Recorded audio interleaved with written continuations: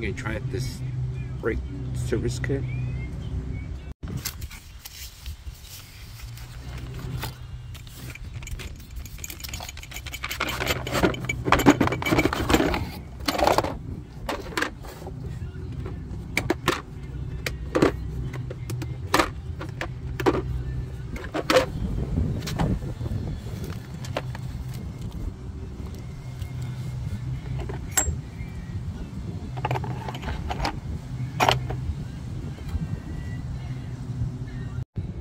To compress the caliper back in, we just installed the uh, the brake service toolkit. I'm just gonna turn it and press it back in.